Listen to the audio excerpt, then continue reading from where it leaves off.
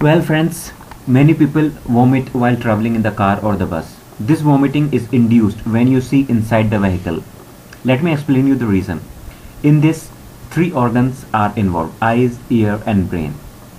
Our ear inform the brain about the position of the body, whether the body is in the motion or in the rest, etc. And eyes can see it and inform the body.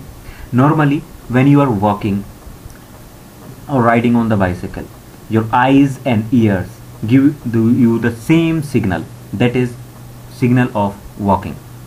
Now when you are inside the car or reading a book when you are reading a book or looking inside the car your eyes send signal to the brain that you are in stationary position while your cochlea and the ear signals the brain that body is in the motion so eye is sending the stationary signal and ear sending the motion signal to the brain. Thus brain gets confused and thinks it's hallucination which can be due to the ingestion of the poison.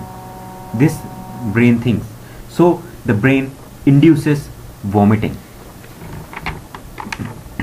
now you can stop this conflict between the ear and eye signal by looking out of the window of the vehicle now look at the horizon.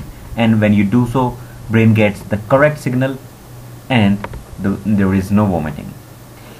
Same situation arises when you are sailing in a ship. In ocean there is no stationary point. So eyes can see everything stationary. So eye send a stationary signal while the ears give the motion signal to the brain and thus vomiting in induce.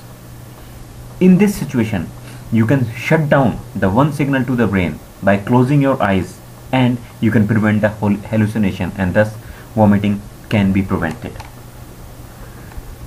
So while traveling in a car or a bus you should look away from the window towards the horizon so that you can get the correct signal to the brain and you can prevent the vomiting. Thank you.